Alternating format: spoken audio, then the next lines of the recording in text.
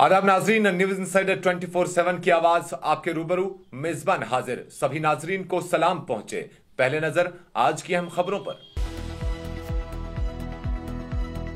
पुंछ में शहरी हलाकतों के जिम्मेदारों को सजा दी जाएगी। बीजेपी के रविंदर रैना ने कहा, यकीन दिलाना चाहता हूँ कि उनके साथ इंसाफ किया जाएगा।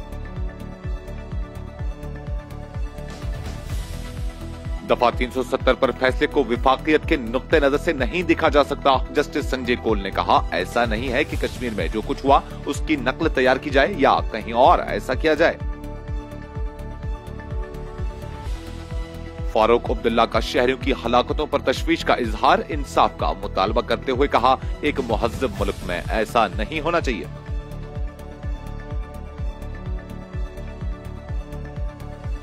पुंछ राजौरी में मोबाइल इंटरनेट खिदमत, सात दिन बाद बहाल। जुड़वा अजला में हुक्म ने एहतियाती तदाबीर के तौर पर इंटरनेट खिदमत को किया था मुअत्तल।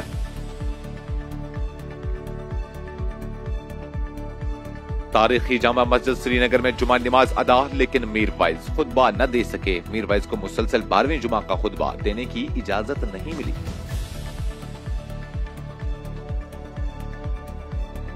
जनता दल यू के कौमी सदर, लालन सिंह ने अहदे से दिया इस्तीफा। वज़ीर अला नीतीश कुमार होंगे पार्टी के नए सदर। जम्मू में कोविड 19 का केस दर्ज, मुतासरा मरीज़ को घर में रखा गया अलग थलग सीनियर डॉक्टर ने कहा, घबराने की ज़रूरत नहीं, चैलेंज से निपटने के लिए इकदाम किए जा रहे हैं।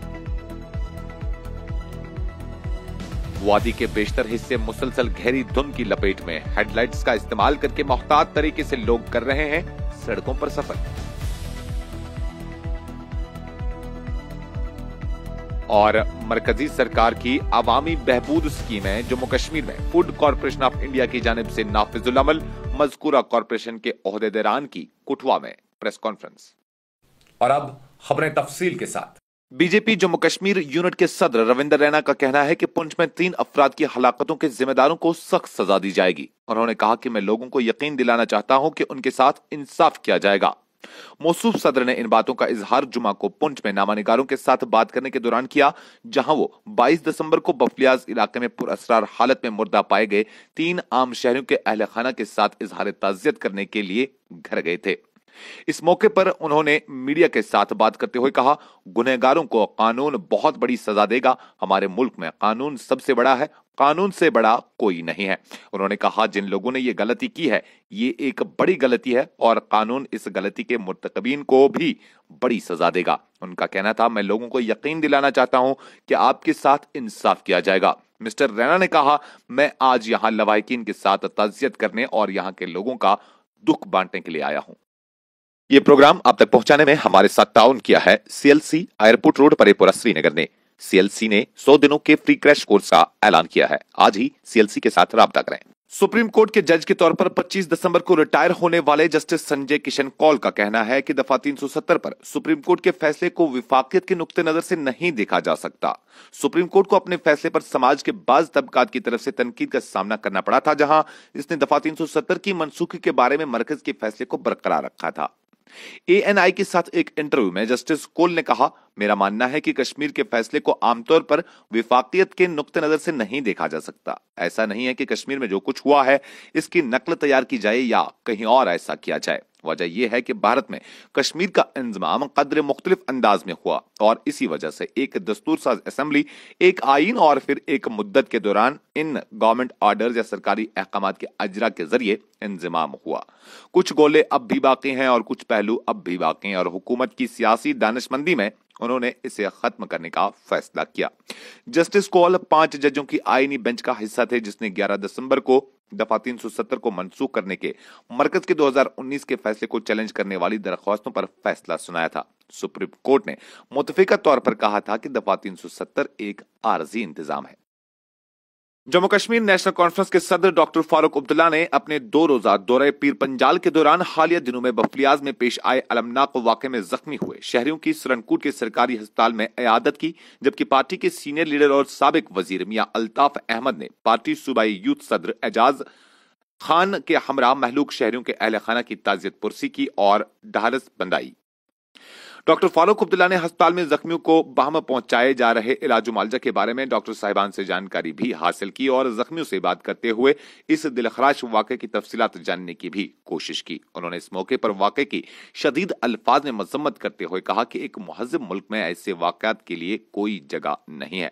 उन्होंने कहा कि हम इस वाक़े की गैर जानबदाराना सरियल रफ्तार और आला सती तहकीकत चाहते हैं ताकि खातियों को करारी वाकई सजा दी जाए। इसके साथ साथ हुकूमत और कानून नाफिज करने वाले इदारों से अपील करते हैं कि मुस्तबिल में इंसानी हकूक की बदतरीन पामालियों पर मबनी ऐसे वाकत पर यकसर रोक लगाने के लिए ठोस और कारगर इकदाम उठाए जाए। डॉक्टर फारूक अब्दुल्ला ने कहा, मैं ये मामला पार्लियामेंट में भी उजागर करूँगा और हुकूमत की तवज्जो इस जाने मबजूल कराने की पूरी कोशिश करूँगा ताकि मुतासरीन को इंसाफ फराहम हो सके।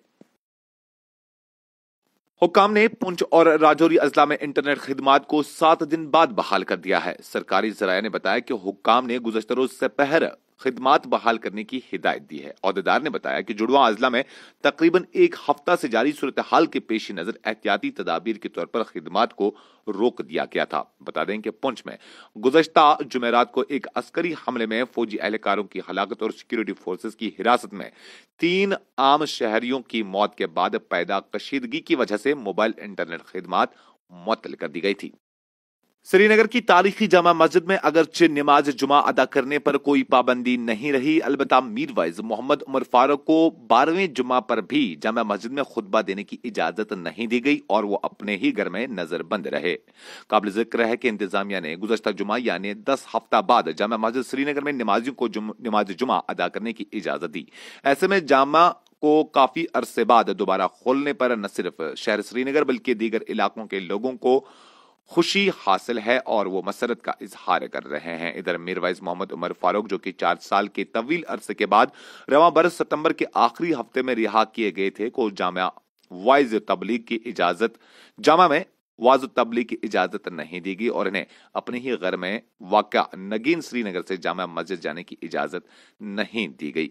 अगर इस हवाले से हुकाम की जानब से कोई बयान सामने नहीं आया, तहम फलस्तीनी और इसराइल के दरमियान जारी जंग के पेश नज़र इसराइल के खिलाफ एहतजाज और फलस्तीनी के तई यकजहती के तौर पर मुजाहरे होने के खदशे में, मंजर में इस तरह का फैसला लिया गया। ऐसे में अमन कानून की सूरत हाल को बरकरार रखने के लिए जिला इंतजामिया ने यह फैसला किया है। अंजमन अवकाफ जामा मस्जिद अपने बयान में मीरवाइज की मुसलसल नजरबंदी पर अफसोस का इजहार किया और कहा कि इनकी मनसबी और मजहबी फराइज पर आयद कदगन मुदाखलत फिद्दीन करार दिया है और हुकूमत का इस तरह का रवैया हर लिहाज से न सिर्फ़ अफसोसनाक है, बल्कि इंतकाम इंतकाम गिराना पॉलिसी का मजहर भी है। जनता दल यू के कौमी सदर लालन सिंह ने अपने अहदे से इस्तीफा दे दिया है और बिहार के वज़ीर अला नीतीश कुमार पार्टी के नए सदर होंगे। लालन सिंह ने जुमा को पार्टी के कौमी एग्जीक्यूटिव मीटिंग के दौरान सदर के अहदे से इस्तीफा देने की पेशकश की। उन्होंने नीतीश कुमार को पार्टी का नया कौमी सदर बनाने की तजवीज भी पेश की। एग्जीक्यूटिव ने लाल सिंह, लालन सिंह का इस्तीफा कबूल कर लिया और नीतीश कुमार को पार्टी का नया कौमी सदर बनाने की तजवीज की हिमायत की। काबिल ज़िक्र है कि गुजशत कुछ दिनों से कयास आराइयाँ की जा रही थी कि मिस्टर सिंह कौमी सदर के अहदे से इस्तीफा दे देंगे और नीतीश कुमार इनकी जगह पार्टी की कमान संभालेंगे। पार्टी के सीनियर लीडर के सी त्यागी ने नामान्यकारों के सवाल के जवाब में कहा कि पार्टी शाम को एक प्रेस कॉन्फ्रेंस करेगी, जिसमें तमाम फैसलों का बाजाबता ऐलान किया जाएगा। जम्मू में तवील अरसे के बाद पहला कोविड 19 केस दर्ज किया गया है और मरीज़ जिसमें मामूली अलामत पाए गए हैं को घर में अलग थलग रखा गया है। एक सीनियर डॉक्टर ने ज़ोर देकर कहा कि घबराने की ज़रूरत नहीं है क्योंकि किसी भी चैलेंज से निपटने के लिए इकदाम किए जा रहे हैं। गवर्नमेंट मेडिकल कॉलेज अस्पताल जम्मू के प्रिंसिपल आशुतोष गुप्ता ने कहा कि ये शहर में तवील अरसे के बाद पाए जाने वाला पहला केस है और मरीज़ के नमूने को जेनोम की जाँच के लिए भेजा गया है ताकि यह मालूम किया जा सके कि आया ये नए जे एन वन जेली किस्म की वजह से हुआ है। उन्होंने कहा कि मरीज़ की सफ़र की कोई तारीख नहीं है, लेकिन वो किसी ऐसे शख्स से रबते में आया जो कुछ दिन पहले बिरून मुल्क से वापस आया था। गुप्ता ने कहा, इसे घर में अलग थलग रखा गया है और वो ठीक हो रहा है। घबराने की ज़रूरत नहीं है, क्योंकि किसी भी चैलेंज से निमटने के लिए पहले से ही मुनासिब इकदाम किए जा चुके हैं। हुक्काम ने बताया कि महकमा सेहत ने पहले ही मरीज़ के राबतों का पता लगाने के लिए मुहिम शुरू कर दी है। 20 दिसंबर को सेहत और तबी तालीम के सेक्रेटरी भूपेंद्र कुमार ने कोविड 19 की सूरत हाल और जम्मू कश्मीर भर में सेहत आमा की निज़ाम की तैयारियों का जायजा लिया। खासतौर पर जे एन वन ज़िले किस्म के सामने आने के बाद मरकजी वजारत सेहत की तरफ़ से जारी करदा एडवाइजरी की रोशनी में ये इकदाम किए गए। आदि कश्मीर में खुशक मौसम के बीच ठिठरती सर्दियों का ज़ोर और गहरी धुंध का राज बराबर कायम है, जिससे लोग गुनागुन मुश्किल मसाइल से दो चार हैं। श्रीनगर समेत वादी के कई मैदानी इलाकों में गहरी धुंध छाई रहती है, जिससे सुबह के वक्त घरों से निकलने वाले लोगों को शदीद मुश्किल का सामना करना पड़ता है। गहरी धुंध से विजिबिलिटी इंतहाई कम होती है, जिसके नतीजे में ड्राइवर हजरात को हेडलाइट्स चालू करके ही गाड़ियाँ चलानी पड़ती हैं और नमाज़ फजर की अदायगी और दूध वगैरह लाने वालों को भी रोशनी का इस्तेमाल करना पड़ता है। महकमा मौसमियात के मुताबिक वस्ती कश्मीर, बारामूला और पुलवामा के मैदानी इलाकों में 31 दिसंबर तक धुंध का राज कायम रहने का इम्कान है। दरियासना वादी में शबाना दर्जा हरारत, नुकतो अंजुमाद और मामूल से नीचे दर्ज होने से ठिठरती सर्दियों का ज़ोर मुसलसल कायम है। मरकजी सरकार की अवामी बहबूद स्कीमें जम्मू कश्मीर में फ़ूड कॉरपोरेशन ऑफ़ इंडिया की जानब से नाफिजुल अमल है और मजकूरा कॉरपोरेशन के अहदेदारों की जानब से आज कुठवा में एक प्रेस कॉन्फ्रेंस की गई, जिस दौरान उन्होंने मरकजी सरकारी स्कीमों के फवायदे लोगों के सामने रखे आइए आपको सुनवाते हैं। आदाब आपको बहुत बहुत शुक्रिया। ये हम लोगों का interview on the FCI functioning के ऊपर। FCI in your Jammu and Kashmir inter belt में हमारा 32 डिपोस है। वो 32 32 डिपोस में हमारा वो 32 डिपोस के 32 डिपोस से हम एंटायरली पूरा पूरा आपका Jammu and your valley Kashmir में हम राइस एंड व्हीट सप्लाई करते हैं। फोर्टिफाइड राइस गवर्नमेंट ने शुरू किया है। ये फोर्टिफाइड राइस इसलिए शुरू किया क्योंकि इसमें आम जनता के लिए दो जो गरीब आदमी है और बीपीएल फैमिलीज़ उसके लिए प्रैक्टिकली ये राइस बहुत आपका गुरुत्वपूर्ण है। क्योंकि इसमें फोर्टिफाइड राइस में एक एक दाना आप देख सकते हैं, जो व्हाइट कलर का है। ये एक इस टू हंड्रेड रेशियो में मिक्स किया गया। ये जो राइस कर्नल सफ़ेद वाला देखते हैं, इसमें है आयरन इसमें है विटामिन इसमें है फॉलिक एसिड क्यों गवर्नमेंट हैज़ टेकन ये क्यों डिसीज़न लिया है गवर्नमेंट क्योंकि वो गरीब आदमी इवन योर प्रेग्नेंट वोमेन के लिए दीज आर ये सब चीज़ें बहुत ज़रूरी होता है। अलग करके मेडिसिन से अलावा मेडिसिन के अलावा अगर ये ले तो फिर इनको थोड़ा आ, वो मेडिसिन के एज ए सब्सटीट्यूट बन के ये गवर्नमेंट ने प्रचार किया है। आप लोग थोड़ा जागरूक कीजिएगा कि आ, सभी तो इसी पीरियड में इतना जागरूक है नहीं। आ, वो समझते हैं कि ये जो फ्लोट हो रहा है वाटर में धोने का टाइम पे वो सोचते हैं कि ये प्लास्टिक का चावल है। लेकिन चावल धोने के टाइम में हाँ धोने का टाइम पे क्योंकि ये ऊपर ही फ्लोट करते हैं पानी में। और इसको लगा है कि ये लाइट वेट का कारण ये प्लास्टिक राइस है। लेकिन ये प्लास्टिक राइस है नहीं। मेरा आपसे विनती है कि आप थोड़ा सा आम जनता और सबके, आपके माध्यम से आप प्रचार करें।